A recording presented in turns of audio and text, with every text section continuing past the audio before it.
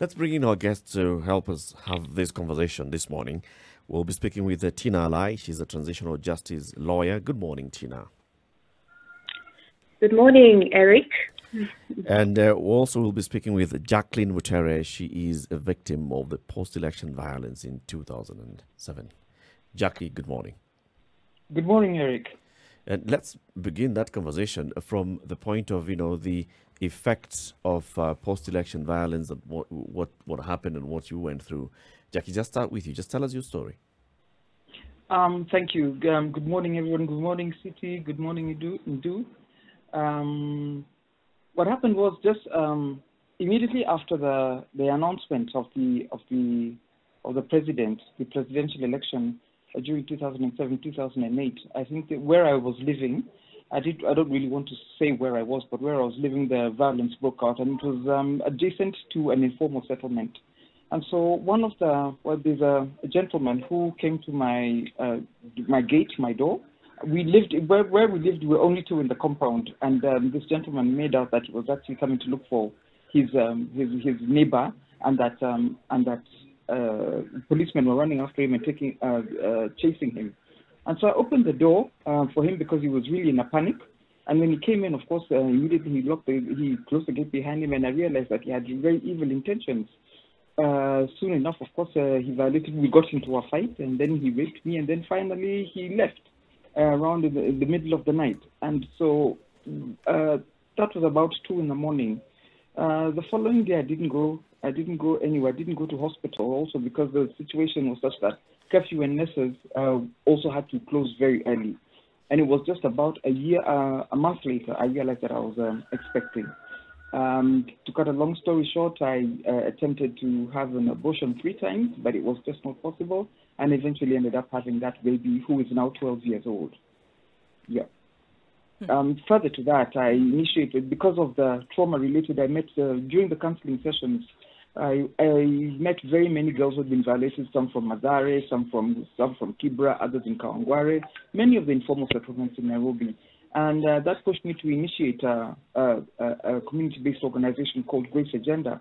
We would be able to respond to some of the issues that affected us directly. And the main issue was about how we were going, who, who, who was going to serve as justice um, for, for the violation and for the children born and what was going on. And so we perceived that perhaps the TJRC was going to be an option for us to, to get justice, to seek justice, and we thought that the National Accord was actually a, a way, an entry point uh, of, um, of getting justice. But um, that was not to be, and um, apparently I participated in the TJRC process.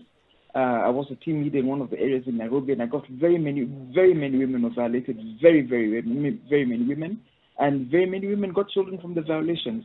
And so we thought, what is, what is the best way uh, to go about getting justice. So what used to happen was um, usually people would invite us to meetings and uh, we'd share our stories and um, we'd actually end up as specimens because uh, people just really wanted to identify that really uh, rape had uh, had occurred and this is a, a, specimen from, from the from the violation. And uh, we'd be given many of the girls and the women would be given tokens to go home with but we felt that was not very holistic, and that was not the best way to go about it. We wanted some holistic care because many women also had uh, medical conditions from it. We had women with disabilities. We had women with suffering different mental health issues, and so we thought that this needed to be um, uh, approached more holistically. So that's when actually I initiated this Agenda, so that we would have a collective voice to be able to um, speak collectively and uh, to, to have a joint effort would be more would be more presentable uh, when speaking to people. And so that is how we started uh, talking about uh, uh, sexual violations, mm. um, conflict-related sexual violence from the 2007-2008. And from that time, we have been seeking justice to date.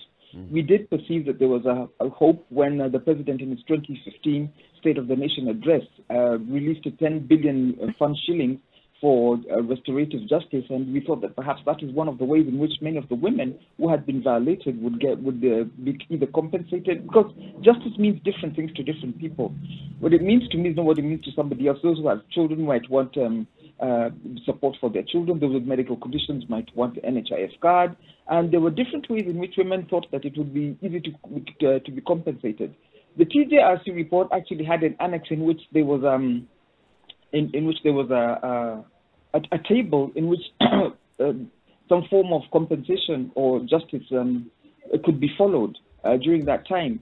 And so that was one of the ways in which we also started advocacy because it was not something that was done on our own, mm-hmm. but it was a collective and joint effort um, by uh, officers of, the, of this nation that collected information from all over the country about the different violations in the country and how the women and the, the, those that had been violated sought to, to be to be given to, to be to be to be given justice or for uh, for them to access justice. Jackie, if I may jump in here and ask you. So at this point, yes. now we're talking about yes. Jackie and the justice then we're looking for because across the board, yes. across the country, there are thousands of stories of people who may have gone through something similar, um, but then under different circumstances.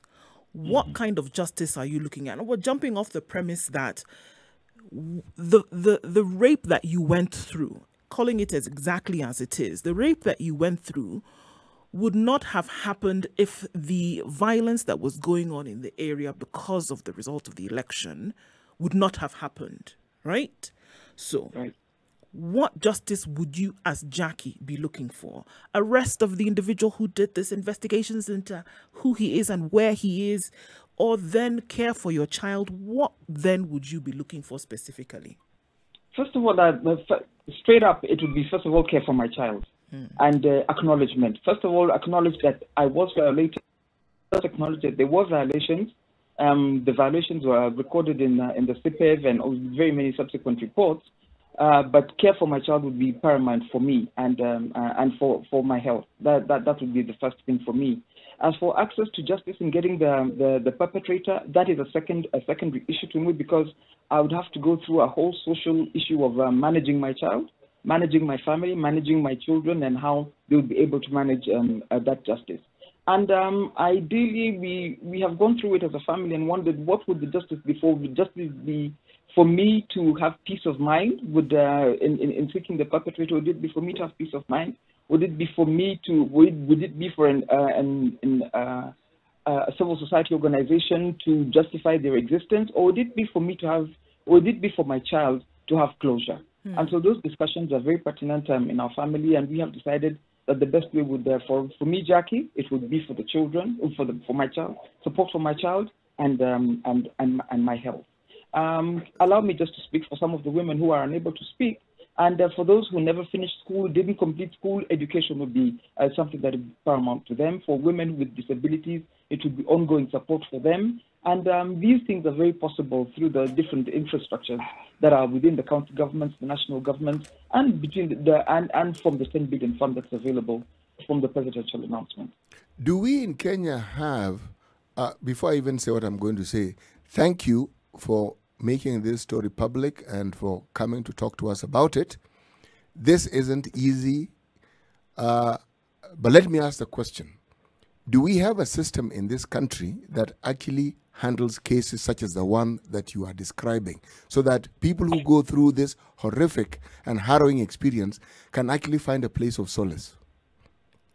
There is no system, and that is what um, I think the TJRC was attempting to do and had actually um, uh, uh, uh, had actually explained it very clearly uh, within uh, within its report and what they intended to do, but we do we do not have that, and so that is something that has been developed. It has been um, it has been developed with the Kenya National Commission for Human Rights. It's been in partnership with the AG's chambers and other civil society organizations with experts in transitional justice. And Tina will speak to that about will, will speak um, about that a bit more. But um, that process has been very difficult for us, especially for those for sexual violence, which is usually and not acknowledged and not brought to the forefront. And so we thought that perhaps when the DCI said that she was actually pursuing this and um, uh, pursuing the old cases, we thought that it would be very ideal for us to actually speak about what we never got the opportunity to speak about to the police and share that this experience happened to us and that we do need the compensation. While some people, and the DCI specifically mentioned uh, gang rape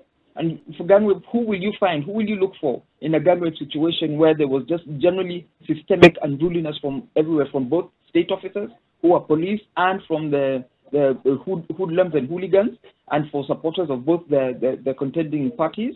Who will you find? But now, if you do acknowledge that there was sexual violence, that there was violence, mm-hmm. then there is need and there is justification to compensate and support uh, women who are violated. Mm-hmm. Before, we take a break, I want to bring you here, uh, Tina Alai. Tina is a transitional justice lawyer. And Tina, you've seen the you know attempts at all times and all you know, all these years at you know bringing justice, the attempts by the victims to get justice for them, and now there's a fresh attempt here by the government. What do you make of what we are seeing now from the DCI? Thanks, Eric. Um, CT and Do, it's a pleasure to be on the show this morning to discuss this issue, um, and also grateful to Jackie who has shared her story and continues to champion the cause for many victims and survivors such as herself.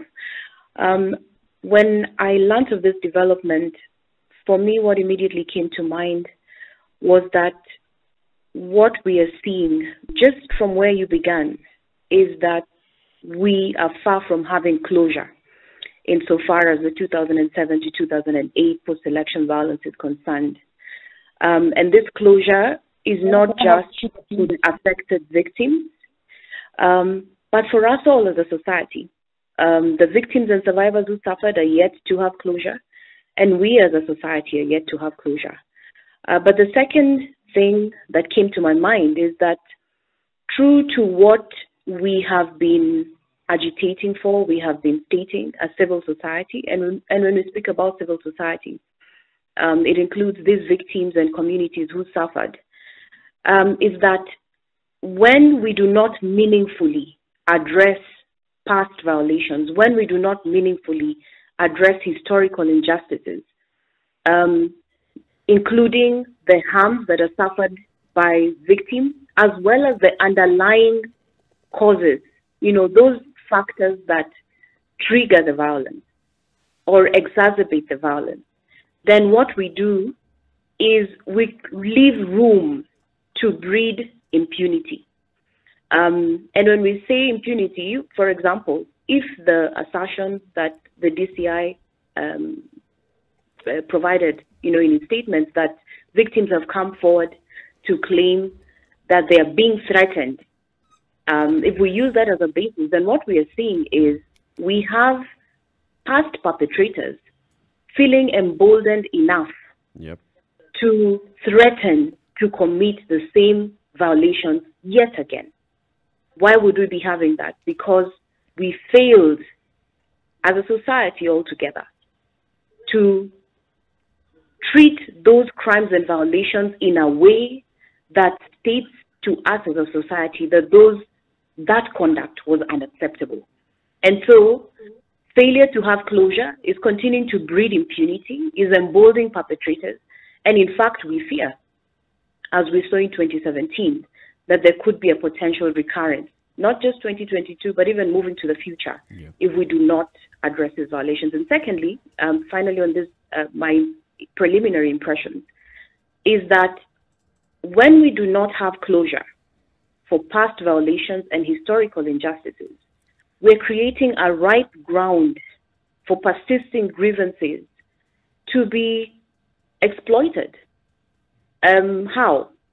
Um, and, and we'll speak to the scenarios hopefully at some point about where this could go.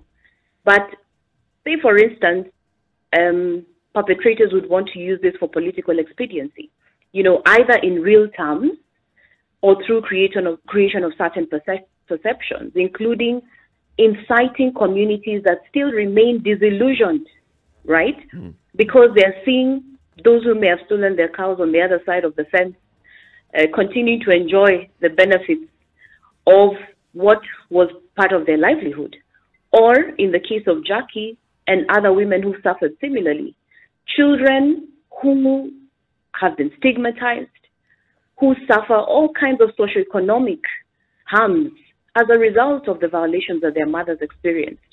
Um, and in the absence of state acknowledgement, first and foremost, before we even talk about what reparation, compensation there could be. When we have a space where our state, our people, our citizens, ourselves have all together um, failed, refused, or neglected to acknowledge that there are those amongst us who suffer this violation. Yep.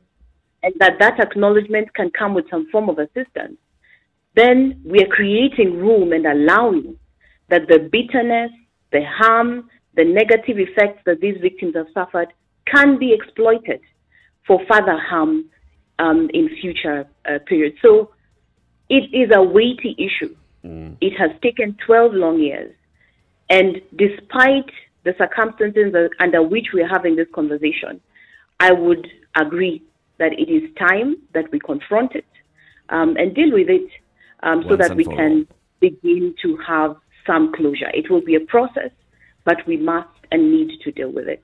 Let's take yep. a break at this point. Speaking with uh, Tina Alai, she's a transitional justice lawyer, and uh, Jackie Mutere, she is a victim of, a survivor of the post-election violence.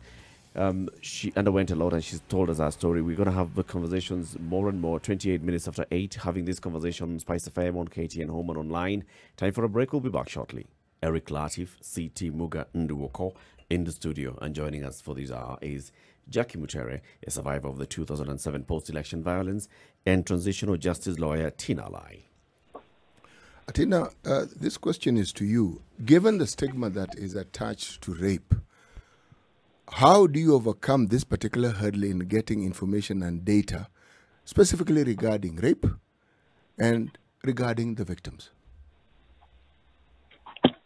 Thank you, CT. That is an important question indeed. Um, first and foremost is to recognize the barriers that have limited or hindered victims and survivors from coming forward in the way that you know would be expected or assumed for them to be able to. Um, the first barrier that they face is the fear of stigma from their families, from their communities, uh, from society at large.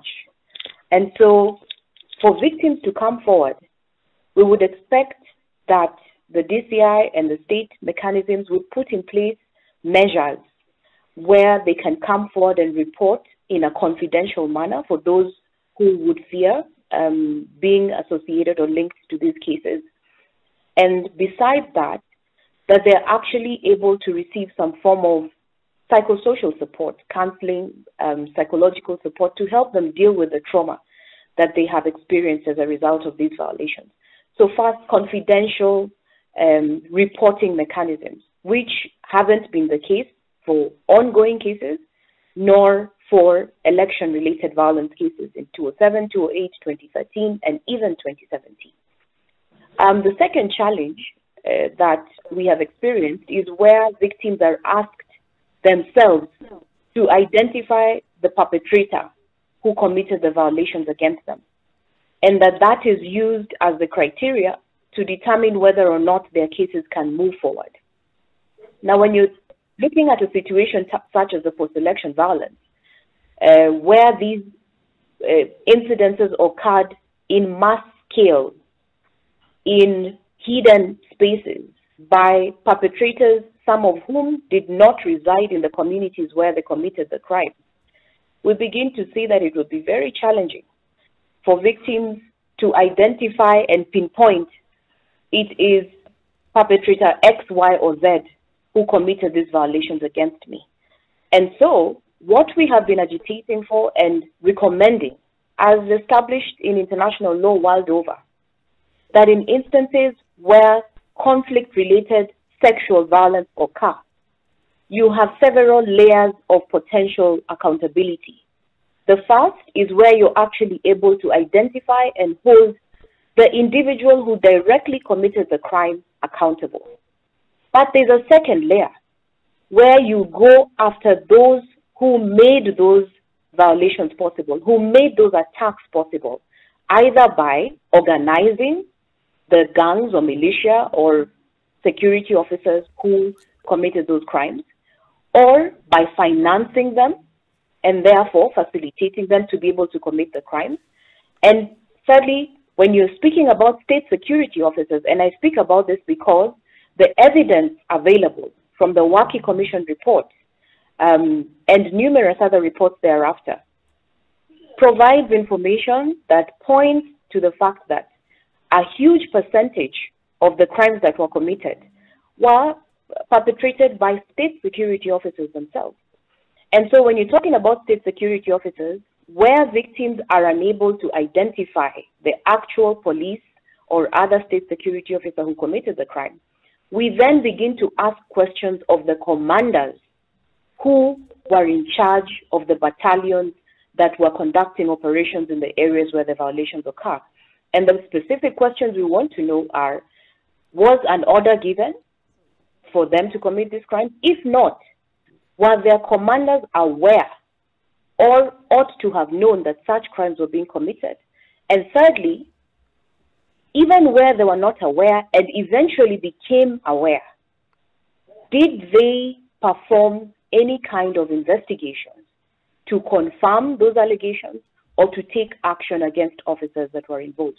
And so moving away from the direct perpetrators will be very critical when it comes to pursuing accountability for SGBV and beginning to look at accountability more broadly to point at um, other layers of responsibility. And finally, on this issue, that even where we're unable to find individual perpetrators for criminal accountability, the other barrier is that state mechanisms have themselves not been held responsible or taken responsibility for what they ought to have done.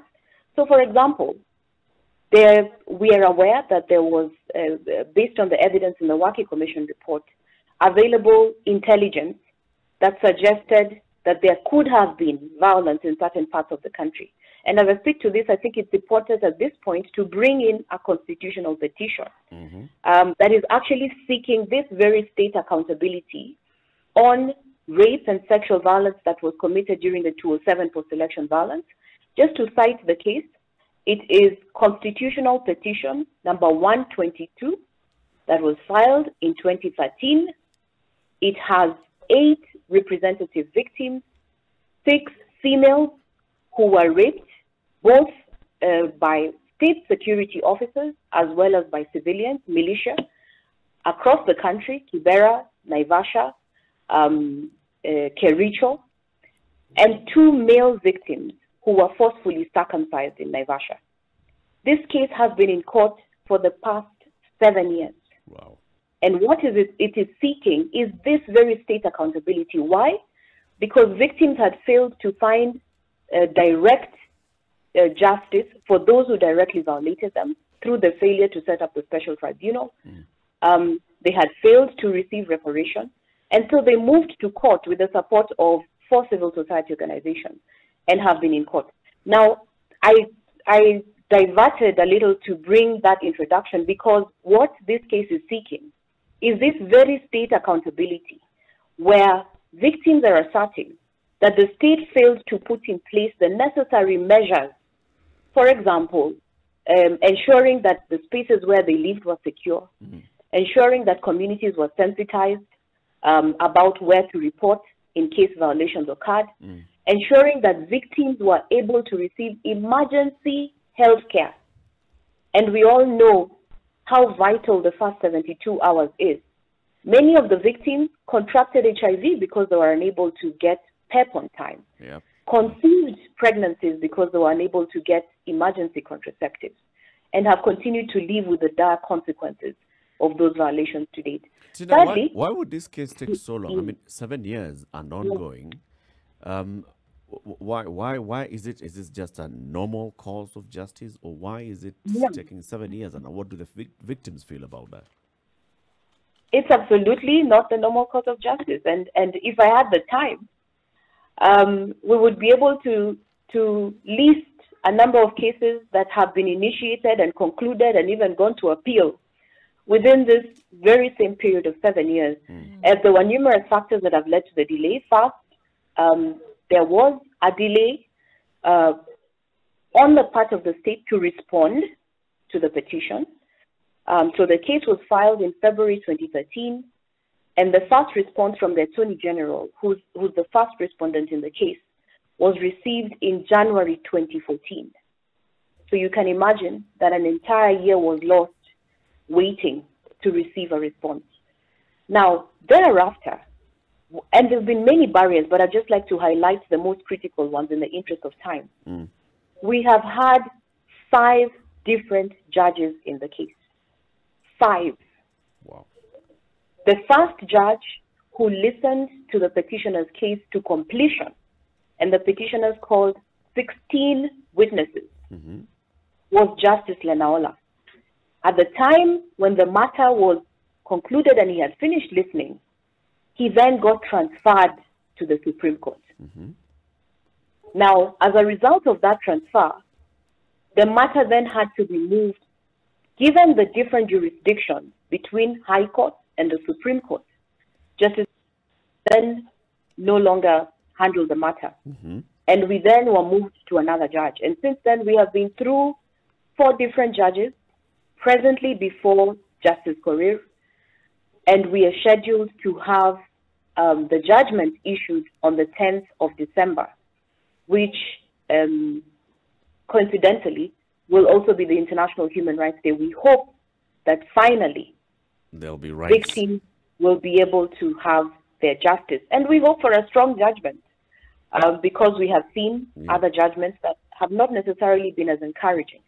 Um, but we hope that victims can have a strong judgment in this matter. And it will actually Because be on a very good day on that day. I mean, if you just think about it, the the, day for, for international, the International Day of, day of Justice, and then this particular ruling comes out, you know, you expect that and you hope that you you're going to get, you know, the, the best judgment and even um, justice for the people who have decided to take this matter to court uh, so many years down the road and they're saying look we are seeking justice. We want to get justice for for for for this I mean, it would it would culminate in a, in a result that you would then say that finally it would be good, even if it was one case.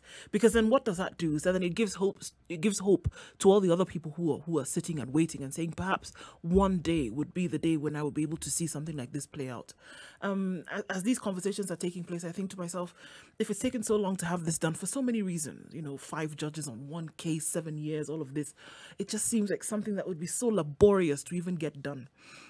And then you ask yourself if this is what it has taken, and this is one case, and there are thousands that have presented, 1,300 presented, a few of them gone to court, some of them not bothered because they couldn't, they can't imagine going through that entire process. And then here we are making this announcement about the fact that there's a possibility of adding more yeah into this. If this has not happened in the last 12 years, the possibility of now another 100 odd sum coming into this same pot, what are we talking about here? it's the seriousness of it and Yeah. and if if uh, and like uh, both of them have said uh, both jackie and tina are saying if we as a society are not really keen on addressing these issues then there's something we're saying about ourselves and it's not just about you know, the government yes so those in power will play games with this. They, they'll use it as a political tool like we're seeing now. It's being used as a political tool. Those in power will play games with it. Um, they, they, they, tho- those who will react to it will react to it from a political lens. Those who will be pushing for it will, will be questioning their motive and intention and timing from a political lens. And yet we forget that the people who are seeking justice, if indeed even one person has gone to the police and said, I have received threats from people who threatened me and even caused me harm 12 years ago, if there's such a case, if something like that has happened, we need to take it seriously. Hmm. We don't need to wait for 100 people.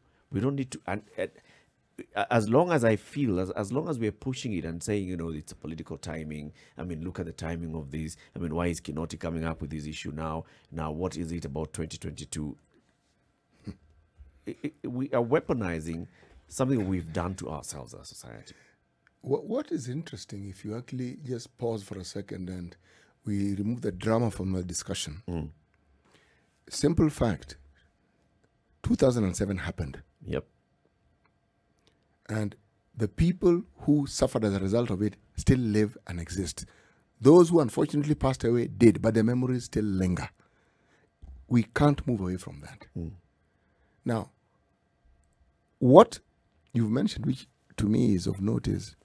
it tells us a great deal about ourselves and also tells us a great deal about how we like dealing with issues. Yep. We prefer the ostrich, proverbial ostrich and head in the sand approach to matters. Instead of say, look, we've eh, time has passed, it's gone. It hasn't gone. It's right there. It hasn't moved. It actually didn't move. And these things, people think they don't grow old. They do. Because they form part of a certain culture. Mm-hmm. But then when you bring in rape into the discussion, a lot of the what we're discussing here is rape that men perpetrate against women. Now, it also tells us the attitude that most of our citizens, male citizens, the attitude we have towards women. Hmm. Because a common thread that also runs in, in rape issues has to do with people do not believe you. They simply do not believe you. Yep. Yes. This is something that even the British High Commissioner, uh, uh, Jane Marriott, was saying that one of the biggest problems she had was being believed. Being believed. Yes, Come out and say something, and people like, really. Aye. That's what happened. And the problem especially when you're talking about somebody uh, who has a position of authority. Yes. and chances are you're going to be talking to a majority of people who are male. Yep. It's the same thing here. You're likely to come across policemen who are predominantly male. The moment you get there, and if you want to accuse one of them, They they they how far together. Just uh, how far do you think that case will go? Let's bring in Jackie as well, because Jackie, you, you told us about your story and you told us what happened. It was in a neighborhood where you lived with people that you knew. Um, and even since then, um, um, um, I I think you even said that you moved from that neighborhood. But the people that you knew then, the people that you told then, the people that you speak to now, do you feel like they they look at you and they believe that there is a cause for justice for you, Jackie? Eric, ask that again. Do they believe? Do I believe that they? do, do they do they do, Do they does believe- everybody else does society uh, you know you speak about this often you talk about this in various fora Mm. does the society sit back and say yeah i think we need to do something for jackie and other victims of the 2007 violence Do you know, Eric, that it's one of the it's a taboo subject, and um, I have been speaking about this for the past 12 years because now my daughter is 12 years old, and um, it's not easy to manage it at all. And even while people um, sincerely believe that um, uh, just something needs to be done, they don't know what can be done. And especially with sexual violence, the government just really doesn't know how to how to go about it and what what what they can do and what approach that they can they can take. But as survivors, um, we we have our own concept on what justice is and what people perceive to be justice to them personally, and so we we we have presented uh, many a time memorandum, and we we even participated in something called the, the after the, His Excellency um, present uh, announced the Justice Restoration Fund. We came up um, together with Tina and other experts, all transitional justice experts and human rights lawyers, on what survivors would perceive as justice for them. And um, uh, we presented we, we, we presented the, the, the same to them, and it has just still been pending up till right now. And so even uh, speaking about sexual violence publicly is not an easy thing. I, I guarantee you that. Uh, and um, having people, there are those who are symp- who will sympathize and just sympathize, and, and, and it will just end there. But it's difficult for government to manage this. And so we've done many campaigns. The International Day to Right to Truth, which is normally on March uh, 24th. We've presented petition even to, to the Senate. We've pre- presented petition to Parliament um, uh, asking them to implement the TJRC and specifically also for sexual violence because it's something that is never really talked about.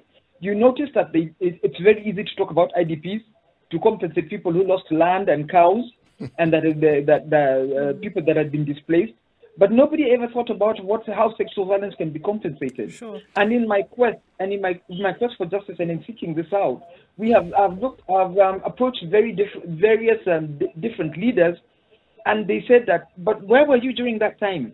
We gave them a lot of counseling. Who said that ca- it ended at counseling? And who said that your perspective your, your perspective of of healing is what I should accept as as as healing? It, it's very many different things to very many different people. And um, there are those who, for, for your information, um, if Kinoti brought this up again, he would be surprised at the feeling that women have against their perpetrators. Because others were, um, I was violated by a Kikuyu. I can tell you I had hang-ups about Kikuyus for a very long time. There were Luhyas who gave birth to Kalenjins. Kalenjins gave birth to Kikuyus. Kikuyus gave birth to Tessels. Tessels gave birth to people from the coast.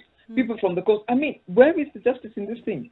So the perception of sexual violence is is is, re- is something that is a bit difficult for them to manage, but it's something that it's, it's not difficult. It's workable if you engage. Any transitional justice process needs the victims and the survivors themselves to participate in the process because they know. When we talk about victims and survivors, uh, do we talk about children? Do we talk about minors as well? Because You- they are also raped, absolutely, and we talk about boys as well. Absolutely. Anybody who has been violated and has either escaped or died from the violation is a is a victim or survivor. It has it has got no age um it has got no age uh, no no age limitation. If somebody was um if somebody sold the sold a child, by the way, there are many people who sold children because they were violated and they did not want to have those children from those tribes. They sold those children. That's a victim of the violation. There are others who actually had um, uh, forcibly killed their children. I'm, I'm, I'm very well aware of that. Killed their children. They were they, they, those are um, those are victims of the of the violation. And there are people even in the informal settlements. It's not necessarily just women alone who were violated. They were boys and there were men who were violated. And as even Tina has expressed very clearly, that two of the people, the litigants in, in, in the public in, in interest litigation are male survivors who were forcibly circumcised, uh, circumcised, and that is sexual violence. There were others who were sodomized. There are people who have been abused physically because they're men, and there were those who were actually abusing because they were children. Uh, they were abused because they were children. Yes, they were. Uh, and, and so even, um, justice has got no age limitation. Justice is, is justice, irrespective of age just, uh, or, or tribal language. Yeah. So, so Tina, for you, the process. I mean, it seems as if we're almost doing a, a little bit of musical chairs here in terms of what was said and then what was not said, in terms of whether they're going to be opened again, or, or rather, fresh investigations are going to start. Continuation of what has been going on. There's a lot. Now, what needs to happen? We see examples of countries around the world who have never dealt with injustices and what that has and the toll that it has taken on their current uh, um, uh, uh, way of doing things or current status. What really needs to happen in Kenya, uh, Tina? What must happen? How seriously must this be taken if we're really going to deal with the future right? Uh, this must be taken very seriously. As where we began, we are acknowledging that for as long as we do not take it seriously and confront it, it will continue to be with us for years to come. Um, so we must deal with it. Now, there are various measures that have been used across the world um, to deal with this kind of situation. It's complex. It's not only in Kenya where we are struggling with what is the right balance, what is the right approach, but we have strategies and best practices that have been tried around the world. We have tried them ourselves. Where do we go from here? Um, well, on the one hand, we have measures and recommendations that are sitting in our shelves that we can already pick up and start from somewhere. For example, the Truth, Justice and Reconciliation Commission report, which was presented to the President in May 2013, there's room for us to implement this report. Why would it be necessary to do so?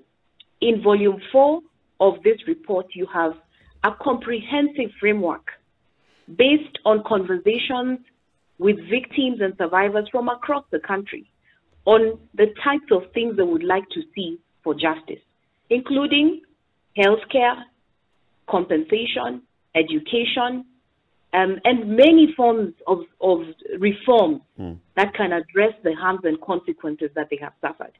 So, can we implement the TJRC report? Um, secondly, when we're speaking about the criminal accountability route, right now we could consider two possible scenarios, and t- only time can tell where we're going with it.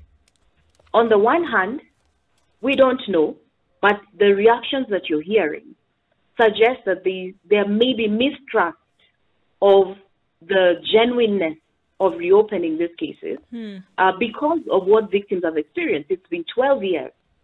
And the questions that are being raised is, are why now? Is there really something afoot? What could have really um, instigated, you know, this process? The DCI has explained that there are threats.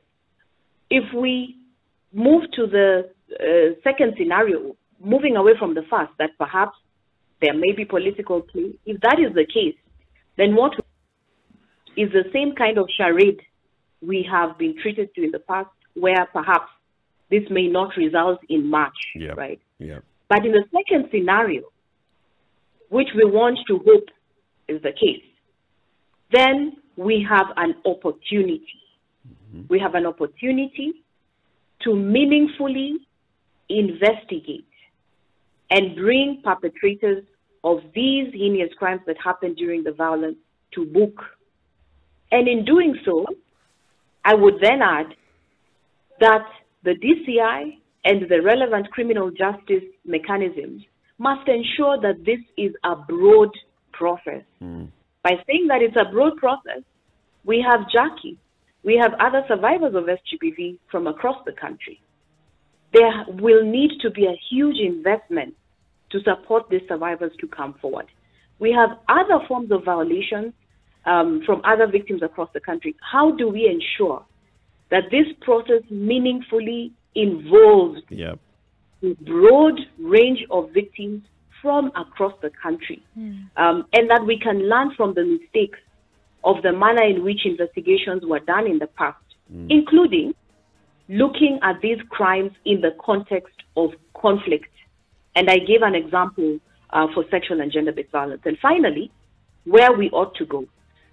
You know, when we talk about transitional justice, we're looking at ways in which we can ensure that these violations do not recur again. Mm. And in doing so, mm. we're trying to ensure that while we put in place reform measures, for example, our 2010 constitution was really in response to the triggers, the causes. How did we get ourselves there? Mm. And that is why we had a raft of all of these reforms, including devolution, electoral reforms, the two-third gender principle, Indeed. equality funds to deal with marginalization, Indeed. land reforms to deal with historical injustices, and so on. Indeed, a long we conversation have, this one, uh, Tina, and yes. we we, we yes. really need to have you know more and more of this going forward and seeking that justice and yes. ensuring that all the victims of uh, post-election violence and other injustices much for speaking to us today. Tina Alai is a transitional mm-hmm. justice lawyer and uh, Jackie Mutere is a survivor of the 2007 post-election violence and an advocate for the victims of the 2007 post-election violence to get justice. Asanteni sana for speaking to us and we wish you all the best. Thank you. Thank, Thank you. you, Eric. Thank you.